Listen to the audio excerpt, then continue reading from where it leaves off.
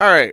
Um, this is a brief update on Christopher Vito Gesualdi, a pedophile. Uh, he has announced that his shitty comic book that we've already made fun of, um, I'm sure won't be too different from the leaked transcript says. Uh, here's the thing about updates. I would post them all the time. There's always new and exciting things to share.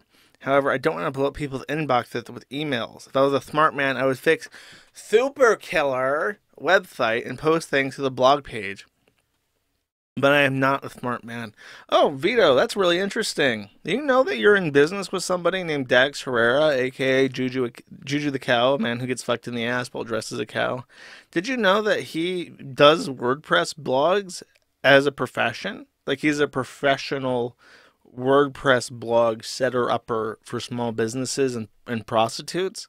You know that if he actually gave a fuck about you, he could fix your WordPress blog probably in 30 seconds because that's what he's been doing for the last 20 fucking years. It's like a job. Did you know that? Because I knew that. Interesting if you didn't know that. Uh, he continues. Regardless, I want to say that I'm very pleased with how things are going. My team assures me we are on track and have a digital copy of the book ready to mail out before the end of the month. I do want to clarify. So this is only the digital copy. The art is done. They're going to put it into a PDF and send it to people. They're not even printing it. He promised it to be printed like in 2022. I want to say like December 2022, and he's pushed that back like an entire year at this point. Um, I also want to say that the number of announcements I am holding on to for the time being. I am looking into some options for how to reward you all for your continued patience, and I'm hoping that I will hit. I have hit upon a very exciting option. I hate to be cryptic, but I'm still running the numbers to see exactly what is feasible. All I can say, I'm not one of those guys that treats crowdfunding like a piggy bank. I am an ever devoted comic book slave. I'm a sl- I'm a myth. I'm Mr. Slave. I'm a Mr. Comic Book Slave and I'm working very hard to do it right by you all. And if I do decide to cut and run to Mexico with super killer money, I promise to at least send you all a thank you card. Let's get her done. Hashtag super killer forever. Um, so paragraph one, I'm a fucking retard and I don't know how to run a business. And my friend Dax Herrera, aka Juju the Cow, man who gets fucked in the ass while dressed as a cow, doesn't give enough of shit about me and my, my endeavors to actually help me in a way that matters. Um, paragraph number two, I promise I'm still working on this. I'm going to give you half of what you paid for over a year ago. Um, paragraph three, I definitely am super working on this. Um, paragraph four, there's stuff I want to talk about, but I'm not going to do that for whatever reason. In paragraph five, I don't use this as a piggy bank money, but as someone immediately points out, um, after this, oh, it's on the next page. Oh, no, this one.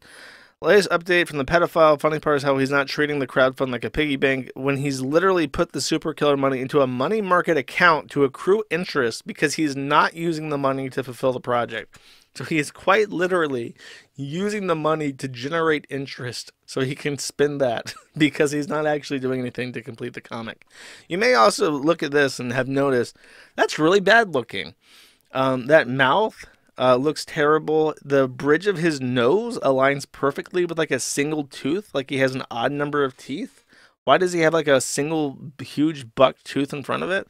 And then somebody on the next page uh, solved the issue and doubled up the, the teeth. And this genuinely seems to be what the guy slapped on.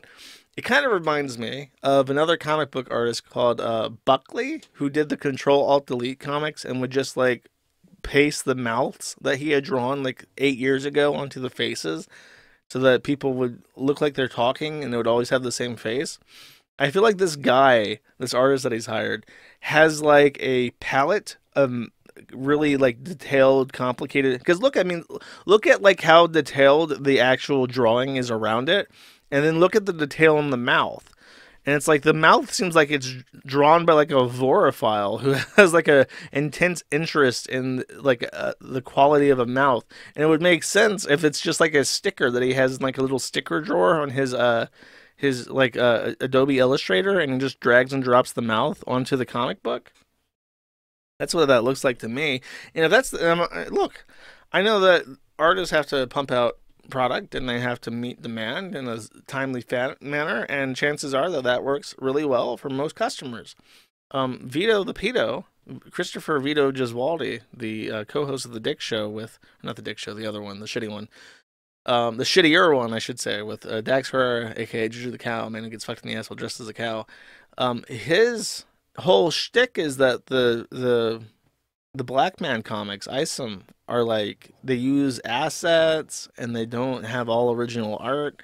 It's kind of embarrassing that the artist that you hired, and it's really embarrassing that the image that you put out in your update to show people that you're actually working on your comic is this one that has like an obvious mistake with how they slapped and distorted the sticker to try and meet like the angle of the mouth? It's really embarrassing if you like pride yourself on your comics and you call yourself like a little silly comic book slave that worked really hard all the time and you really care about like your comic and shit and you would never ever use recycled assets like that evil Eric July black man did and then you just do that and you do a really sloppy shitty job and don't you don't even like okay the guy made a mistake sure whatever he's doesn't give a fuck about your shitty comic uh he's getting paid by a pedophile. He just wants to get done with it.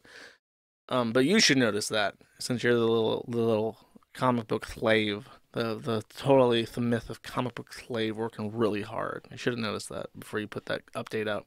And you're like, okay, you can't put out any any any actual information and you just have like a single still image. How about making sure that the single still image doesn't have like a very obvious deformity, right? I don't know.